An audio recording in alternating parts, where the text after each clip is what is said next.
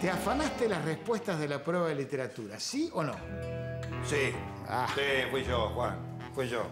Pero bueno, viste cómo era.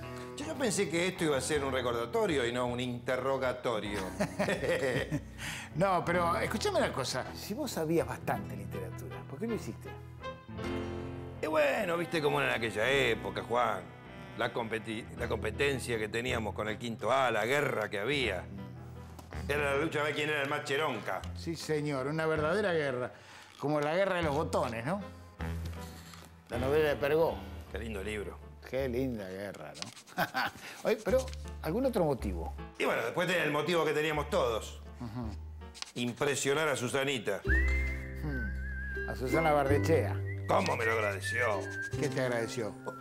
Y como que le haya conseguido la respuesta. Oíme una cosa, Carapálida. Es muy importante. ¿Vos estarías dispuesto a hacer público este testimonio? Porque el pato tiene un problema muy grave. No va a ir a la fiesta porque piensan todos que él fue el culpable. Sí, yo se lo cuento a todo el mundo, Juan, no, no hay ningún inconveniente. Lo que quiero saber es si Susana va a ir o no. Te averiguo.